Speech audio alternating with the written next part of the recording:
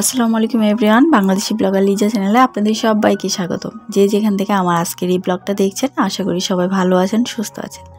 আলহামদুলিল্লাহ, আল্লাহর রহমতে এবং আপনাদের সকলের দোয়ায় আমরাও ভালো আছি। প্রতিদিনের সকালের কাজ যেটা, গাছে পানি দেওয়া, এখন তো শীতের দিন চলে এসেছে, যার কারণে কিন্তু গাছগুলো অনেক বেশি শুষ্ক থাকে, তাই নিয়মিত পানি দেওয়া খুবই প্রয়োজন। তো সকালবেলা সেই কাজটাই করছি।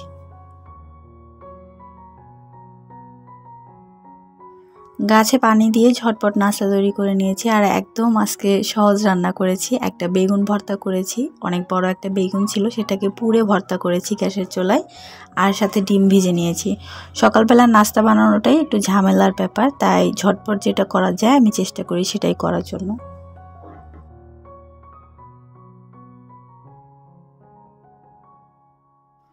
নাস্তার পর্ব শেষ করে এখন চলে এসেছি বিছানা গুছাতে। আর বিছানা গুছাতে গুছাতে আপনাদের কাছে ছোট্ট একটা রিকোয়েস্ট করে নিই। যারা এখন পর্যন্ত আমার ভিডিওটা দেখছেন আর একটু একটু ভালো লাগছে, তাহলে প্লিজ একটা লাইক দিয়ে দিবেন। আর যদি কোনো রকম একটু বেশি ভালো লেগে যায়, তাহলে প্লিজ অনুরোধ থাকল আমার চ্যানেলে সাবস্ক্রাইব করে দেওয়ার জন্য। আর আপনারা যারা আগে এই কাজটা করে ফেলেছেন, তাদেরকে অসংখ্য অসংখ্য ধন্যবাদ। আমার আরেকটা বেডে বেশিরভাগই আয়ান খেলা করে, তাই ওই বেডটা আমি খুব বেশি একটা দেখাই না, কারণ সব সময় ওই বেডের উপর কোনো না কোনো খেলনা থাকবেই। আর গুছাতে গেলে ও এসে হাজির হয়ে যাবে, ওর কোনো খেলনা সরানো যাবে না। তাই সবসময় আপনাদের কাছে এই বেডটাই বেশি দেখানো হয়, আর এই বেডটা সবসময় গুছানোও থাকে।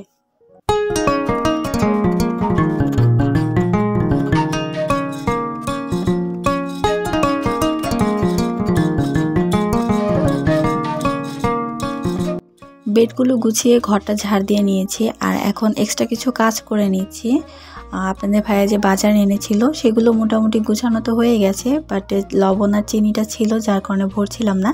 লবণের কৌটাটা আমি ক্লিন করে শুকিয়ে নিয়েছি, রাতেই ধুয়ে দিয়েছিলাম আর এখন কৌটাটা ফিল করে নিচ্ছি।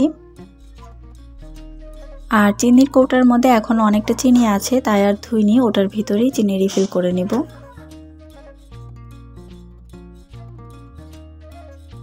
সকাল থেকে রাত পর্যন্ত সেই ঘুরে ফিরে একই ধরনের কাজ রান্না বান্না ঘর গোছানো, বাচ্চার টেক করা, আর তার সাথে এখন যুগ হয়েছে আদিলের পরীক্ষার চাপ। মনে হয় যে ওর পরীক্ষা নয়, আমাদেরই পরীক্ষা। তো মায়ের বেলায় এই কাজটা একটু বেশি হয়ে যায়। কারণ আপনাদের ভাইয়া যখন বাসায় থাকে, অবশ্যই তো সে টেক কেয়ার করে এবং হচ্ছে পড়াশোনার দিকটাও দেখে। কিন্তু উনি যখন না থাকে, তখন কিন্তু আমাকেই দেখতে হয়। তো অনেক বেশি চাপের মধ্যে আর অনেক বেশি প্রেশারের মধ্যে আছি।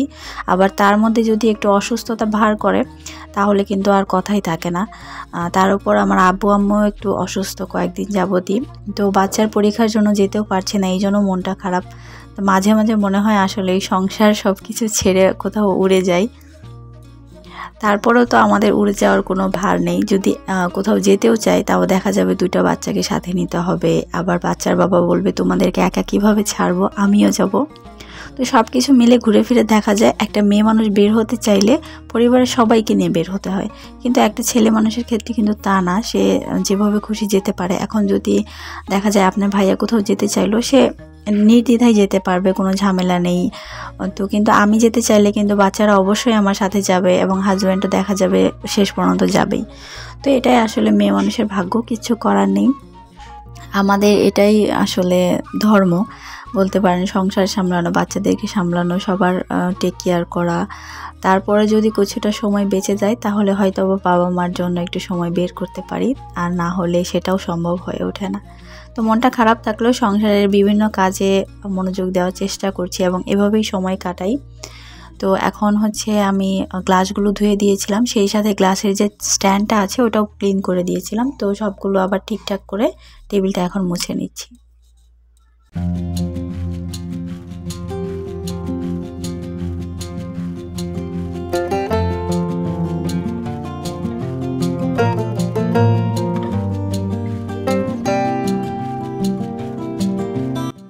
প্রত্যেকটা জিনিসই যখন গুছিয়ে রাখি, দেখতে ভীষণ ভালো লাগে আর মনের মধ্যে একটা শান্তি লাগে।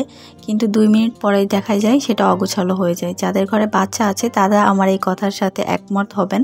আর এই যে দেখুন, আমি গোছানো শেষ করতে না করতে মহাশয় চলে এসেছে এক গাদা গাড়ি নিয়ে, হচ্ছে চেয়ার টেবিলের উপর খেলার জন্য। তো এরকমই করে সবটা জায়গায়।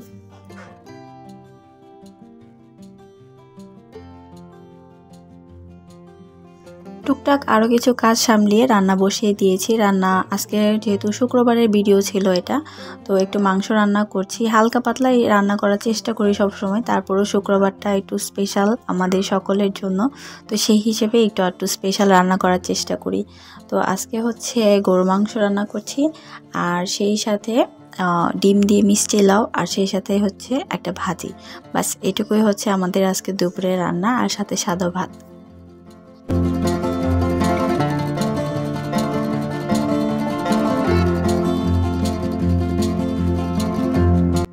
অনেক সময় দেখা যায় কি রান্নার ভিডিওটুকু করি কিন্তু খাওয়ার ভিডিও করতে পারি না। কারণ অনেক সময় আয়ান অনেক বেশি ডিস্টার্ব করে অথবা রান্না করতে, কাজ করতে যদি দেরি হয়ে যায়, ওর ঘুমের জন্য অনেক বেশি বিরক্ত করতে শুরু করে।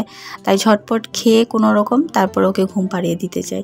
তো তখন ওই মুহূর্তে আসলে আর ভিডিও করা হয় না বা করার সুযোগ থাকলেও সব সময় আসলে হয়ে ওঠে না। তো যার কারণে দেখা যায় মাঝে মধ্যে রান্নাটুকু আপনাদের সাথে শেয়ার করা হয়, খাওয়াটুকু আর শেয়ার করা হয় না। তো আজকেও হয়েছে ঠিক সেম রান্নাটুকু তো দেখালাম বাট খাওয়া আর পরিবেশন এইসব কিছুই দেখাতে পারলাম না।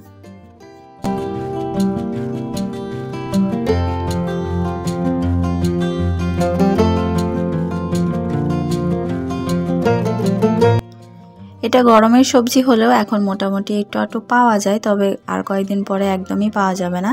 তো এটাই হয়তো বা লাস্ট আমরা খাচ্ছি এই বছর শীতের আগে। তো এখন হচ্ছে ভালো করে ক্লিন করে ধুয়ে তারপর আমি ভাজিটা বসিয়ে দিচ্ছি, আর এতক্ষণ লবণ দিয়ে হচ্ছে একটু চটকে নিলাম, যাতে করে এক্সট্রা পানিটা বের হয়ে যায়।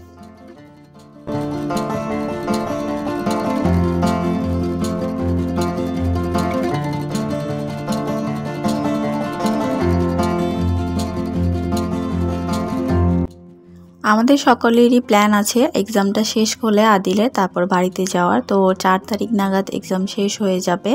তারপরে আপনাদের ভাইয়ার অফ ডে দেখে আমরা হয়তো বা বাড়িতে চলে যাব। তো দেখা যাক কী করা হয়, সামনে যা করব ইনশাল্লাহ আপনাদের সাথে তো শেয়ার করবই। তো আগে এক্সামটা ভালোভাবে হয়ে যাক, আল্লাহর কাছে দোয়া করি, আল্লাহ ওর যেন ভালোভাবে দিতে পারে এক্সামগুলো এবং ভালো একটা রেজাল্ট হয়।